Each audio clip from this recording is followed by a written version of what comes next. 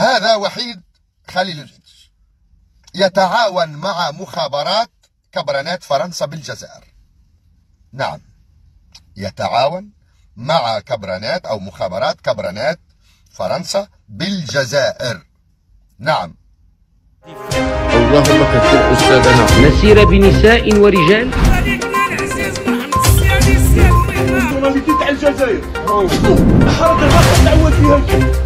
مع محمد السباعي. خدنا السلام عليكم. مرحبا بكم في حلقة جديدة مع محمد السباعي. شكرا بزاف لكم على ال like على كذلك ال partage ديالكم وكذلك على التعليقات الجميلة اللي كنلقاوها يعني في les commentaires. شكرا للدعم ديالكم لنا اليوم.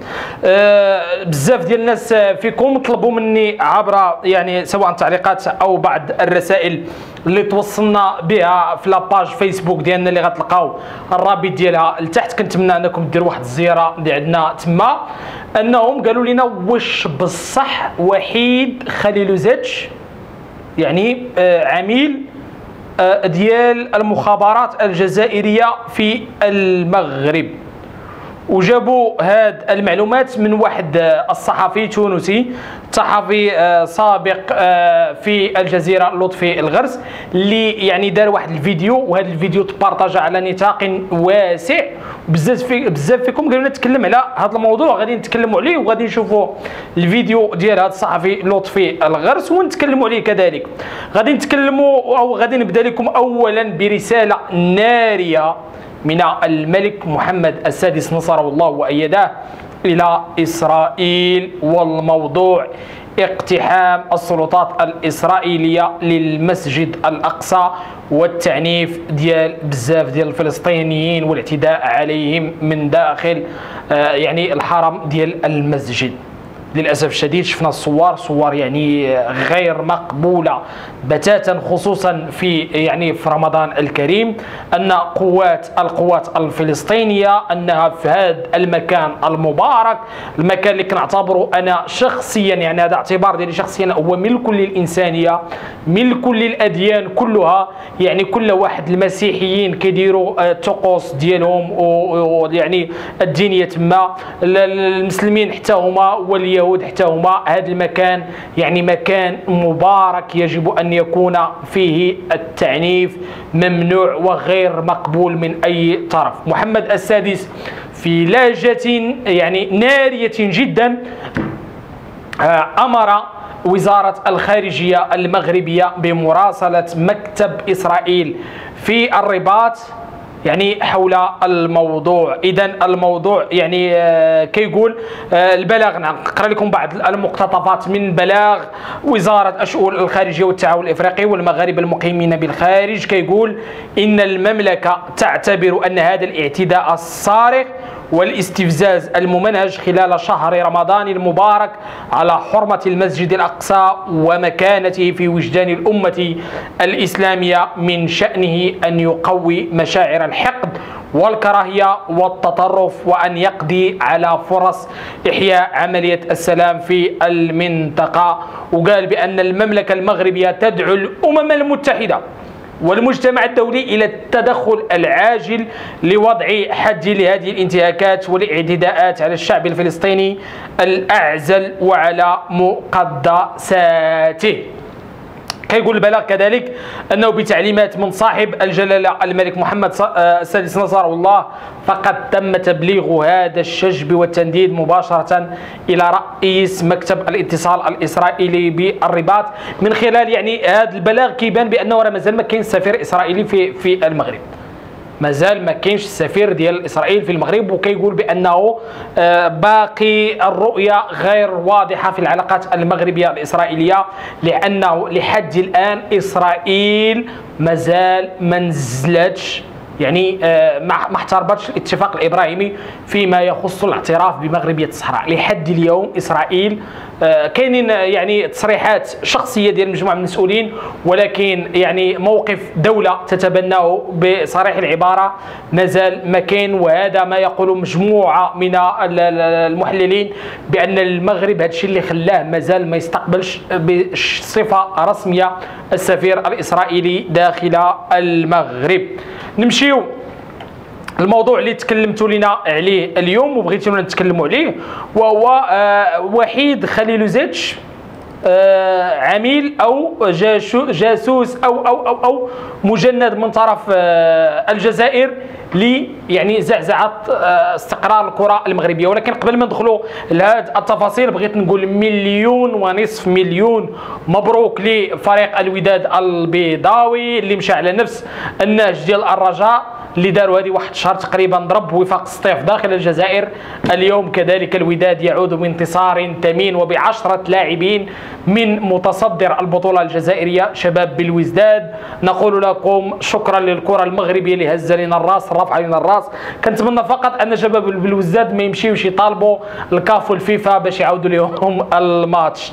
نشوفوا هذا التصريح ديال لطفي الغرس غادي نسمعوه دابا. ومن بعد نجي نعلق لكم عليه كما تكلمنا ديجا. نشوفوا نشوفوا التصريح ديال لطفي الغرس. أن هذا وحيد خليلوزيتش يتعاون مع مخابرات كبرنات فرنسا بالجزائر. نعم يتعاون مع كبرنات أو مخابرات كبرنات فرنسا بالجزائر. نعم.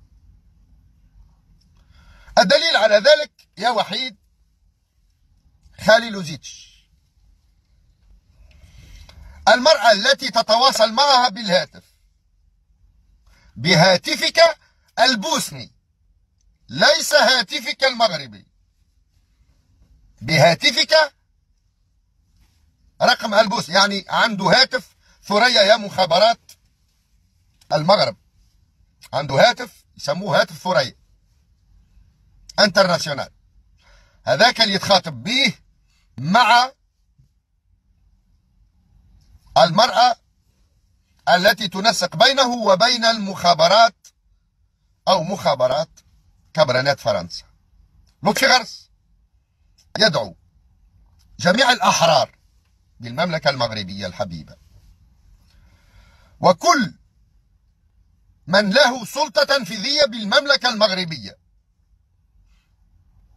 أن يفعل كل ما في جهده لترضي هذا الخسيس وهذا العميل وهذا الجاسوس وأتحمل وزرها أمام الله سبحانه وتعالى.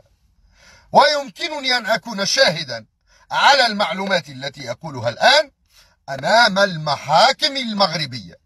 وأنا مستعد لذلك لأكشف كل الملفات. أخي لقجع أنت مغربي حر وأنت مغربي صنديد. سافرت بالرياضة المغربية أو كرة القدم المغربية إلى أعلى القمم. واضح.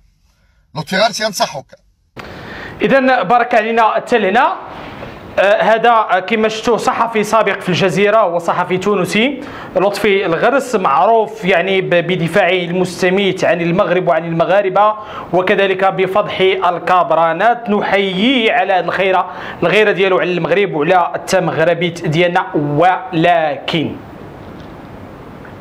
آه، خليل زيرش نتفق يعني واحد 80% ديال المغاربة ما حاملينوش. وأنا شخصيا ياما انتقدته في هذه القناة.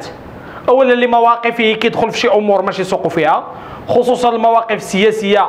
عارف المشكل ديال المغرب والجزائر ودائما في مجموعة من اللقاءات الصحفية يدافع فيها عن الجزائر ويتحرش بالمغرب. وهذا ماشي من حقه كلاعب أو كمدرب ديال كرة القدم. هذه واحد المنطقة ماشي سوقك فيها ما خصكش تتكلم فيها. كنشوفوا وليد الركراكي قبل الماتش اللي لعبوا البارح ضد آه، بالوزداد دار واحد الندوه صحفية. ويعني والصحفيين بغاو يجروه لهذه المنطقة يناقش في هذه الأمور السياسية. قال لهم قالوا ليه سولوا على خليل زاد شو القجاع وكذا وما رأيك وهذه وهذا. وبداو كيدخلوا فيه بداو يدخلوا هذه الأمور بداو يستفزوا فيه هذا يعني التمغربي ديالو يشوفوه واش بي بغاو واحد التصريح ناري ولكن كان ذكيا دبلوماسيا. قال لهم أنا غادي ما غاديش نجاوبكم على هذيك الأمور كاينين الناس ديالها أنا غادي نجاوبكم على الشق ديال بالماضي عندكم أحسن مدرب وكذا وأحسن مدرب في إفريقيا وأنا اتعلم من هذا تصريح دبلوماسي من رجل ذكي. وليد الركراكي برافو ليه. ولكن خليل زيتش ملي كتجبد ليه الجزائر في شي تصريح كينزل على المغرب ويشكر في الجزائر. هذه منطقة ماشي من حقه يدخل فيها وهذه من لي موتيف اللي خاصو يعني يتحيد على رأس الكتيبه المغربية. أضيف إلى ذلك السبان ديالو اللي كان فيديو معروف للجماهير المغربية. خليل زيتش ليكون في علمكم أنه في 2010 طلع باليابان إلى المونديال وما يعني آه، طلع بهم. وما شاركش جراو عليه قبل المونديال. في 2014 طلع بالجزائر وشارك. وفي 2018 آه، أعتقد آه، شي فريق إفريقي طلع معاهم كذلك. وجراو عليه ما ما شاركش. وجا اليوم كذلك مع المغرب. كنتمنى أنه ما يشاركش. ماشيش لهذا الموتيف اللي قال لطفي الغرس لأنه شخصيا أنا ما ما اقتنعتش. لأنه ما واخا كنقول آه، المؤامرة والمخابرات الجزائرية لا أظن بان أن الأمور كتمشي حتى لهذه النقطة. ديال أنه يكون مجند من طرف المخابرات الجزائرية في المغرب. لا أعتقد بتاتا. وشخصيا لا أؤمن بنظرية المؤامرة فإذا كانوا هاد الناس ديال الجاره العبيلة يؤمنون بهذه الخزعبلات وبهذه المؤامرات لا أعتقد شخصيا أن خليل زيادش سيكون. واخا لطفي الغرس بدا كيعطينا المرأة والرقم يعني كيبيع واحد شوية ديال الموضوعية. شخصيا أنا ما دخلش لي راسي هذا التصريح ديال لطفي الغرس. خليل زيد خصو يمشي يمشي لفحالو ماشيش لهذا السبب اللي سمعنا في الفيديو ولكن الأسباب اللي ذكرتها أنا إضافة إلى أنه ما قدرش يجاري آه يعني التركيبة البشرية ديال المغرب. المدرب راه خصو يكون فيه طبيب نفساني يكون فيه الأب المستمع يكون فيه راه ما يمكنش الأب في الدار آه الولد ديالو يكون ما مزيانش ويجري عليه من الدار راه ما يمكنش. يحتويه يناقشه ويتكلم معاه. خوتنا هذا هو التعليق ديالي اللي طلبتوا مني أنني نقول على هذا الفيديو اللي كانت تعليقات كثيره ديالكم. آه، كنتمنى أنكم تدعمونا بابوني اشتراك تفعيل الجرس وكذلك بارطاج ديال هذه الحلقة على أوسع نطاق. والسلام عليكم ورحمة الله تعالى وبركاته. اللهم كثر أستاذنا. نسير بنساء ورجال. تاع الجزائر حركه تعود فيها. مع محمد السباحي.